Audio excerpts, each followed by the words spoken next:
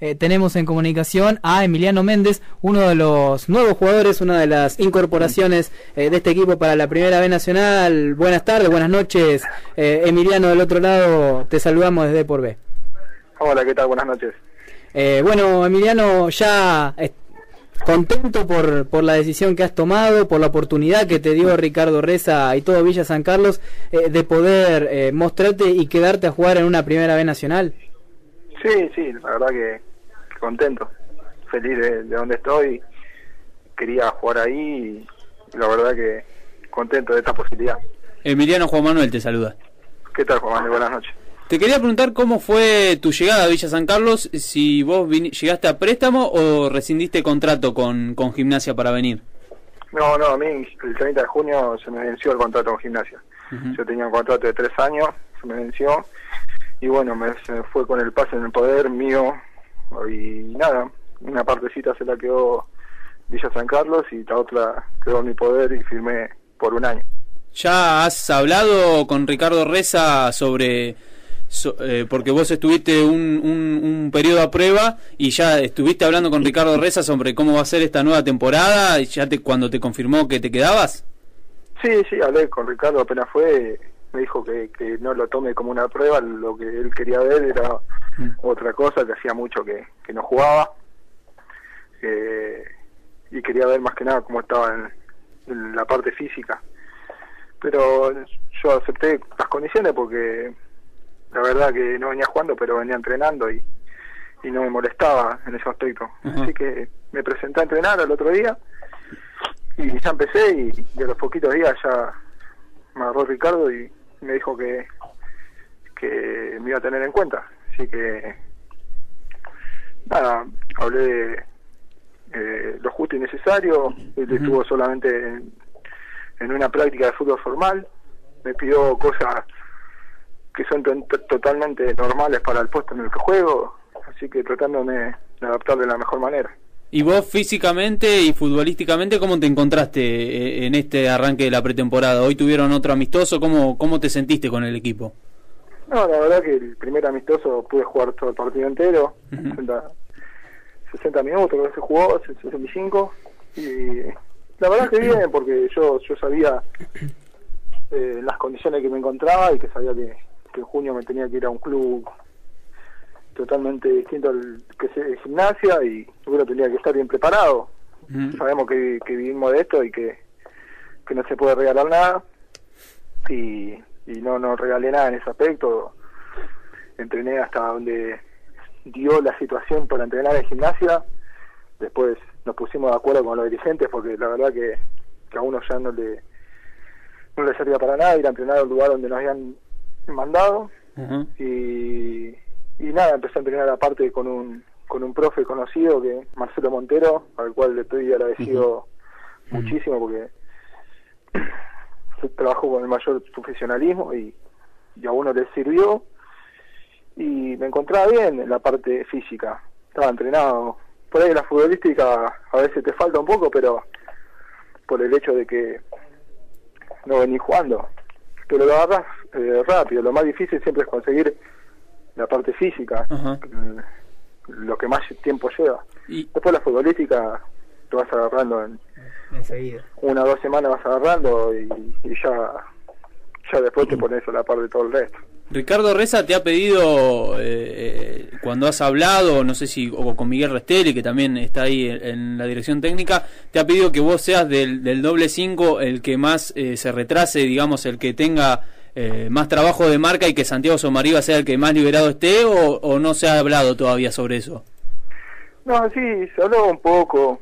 Ellos lo que valoran mucho es el orden, es un equipo ordenado y las cosas que han logrado lo han logrado por ese motivo. Y primero, lo primero que me pidieron es eso. Y, y después eh, no tenemos ninguno de los dos eh, una función predeterminada. Él juega, Santiago juega más del lado tirado del lado derecho, yo más del lado izquierdo y según cómo te lleve la jugada, uno va a terminar más adelante, uno va a terminar más atrás. Lo único que sí, que uno de los dos siempre cuando termine la pelota en un centro o cerca del área, uno no tiene que llegar al borde del área y el otro se tiene que quedar, hacer el balance defensivo y viceversa. siempre uno de los dos tiene que acompañar y el otro se tiene que quedar. Depende cómo te lleve la jugada y cómo, cómo quede parado el equipo.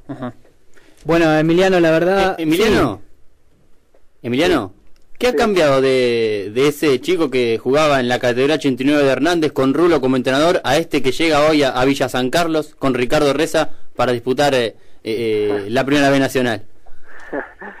no sé, no, me acuerdo quién habla del otro lado. Fernando Bossi. Ah, ¿cómo anda? Muy bien. Y, y, la verdad que cambia, cambia. Imagínate que cuando jugaba con, con Rulo jugábamos, teníamos 5 o 6 años. Era totalmente distinto. No había orden, solamente era eh, un poco de, de condiciones y las ganas que uno tenía. Pero no, sí, se cambió mucho. Hoy en día el profesionalismo te lleva a otra cosa. Pero, pero un recuerdo hermoso tengo de Hernández, de Rulo, mm. de, toda esa bandita. Pasaste de jugar con Román en la mitad de la cancha a jugar con Santiago Somariva. Sí, sí, sí, Román, todos los pibes. Sí, la verdad que, que sí, que se pasó, hubo varios cambios y, y nada, ahora cambió todo. Antes uno lo hacía de, diversión y de hobby, hoy, hoy lo hace porque sus, es su trabajo. ¿Sentís que jugás igual a aquel entonces? No, no, aquel entonces era goleador. Eras un campista más que goleador. Claro, sí, corría toda la cancha, no. No, no, sí, se ha cambiado mucho. Hoy en día eh, es distinto, te cambia todo. El, orden defensivo, ofensivo, cómo uno tiene que marcar, cómo tiene que mover, dar vuelta a la pelota, todo eso en cancha de 7 no y más allá da. Después me tocó jugar en otro equipo en cancha de 7 como en alumno de los hornos, en lo cual de los 7 que jugábamos, 6 llegamos a jugar en primera. Exacto, sí, sí. Y, y en ese equipo sí, te digo, la verdad que era, un lujo, teníamos 9, 10 años y tocábamos más la pelota que, que hoy en día. Dábamos la vuelta, hacíamos triangulaciones. El Barça de los Hornos. Sí, nos, eh, todos los años que jugamos salimos en ese equipo. Pero bueno, había mucha diferencia, teníamos Monetti del arco. Claro, claro. El Pata Castro. Pata Castro. Eh, eh, bueno, Federico Ruiz, que Federico Ruiz hizo 700 goles, una locura. y, ¿Fede Quiroga también? Fede Quiroga, Lucas Mancinelli. Sí, también. El chico que juega en Atlanta. Sí. Nada, teníamos un equipo que por ahí, cuando uno era inferior, cuando era de infantiles, no, no, teníamos muchos rivales. También eso muy, muy valorable al técnico que teníamos en ese momento, que era Marcelo Ramos, que, que, nos laburaba como profesionales. Te digo la verdad, los entrenamientos que nos hacía, hoy uno que después tuvo técnico como Capa, Coca, todos los que han pasado por gimnasia, todo, eh, no, no teníamos nada que envidiarle a lo que nos hacía hacer él cuando éramos chicos y, en el cual en, el momento donde más aprende, cuando uno es chico es donde más incorporas todo. Emiliano, muchas gracias por estos minutos, por esta charla y espero que como decías, como era cuando eras chico, ahora también puedas tener mucho la pelota y que sea de la mejor manera este nuevo proceso allí en Villa San Carlos. Abrazo grande. Sí, ojalá, ojalá así sea y, y bueno, eh, lo mejor para, para este año con las mejores expectativas. Muchas gracias y saludo a toda la mesa. Gracias, un abrazo.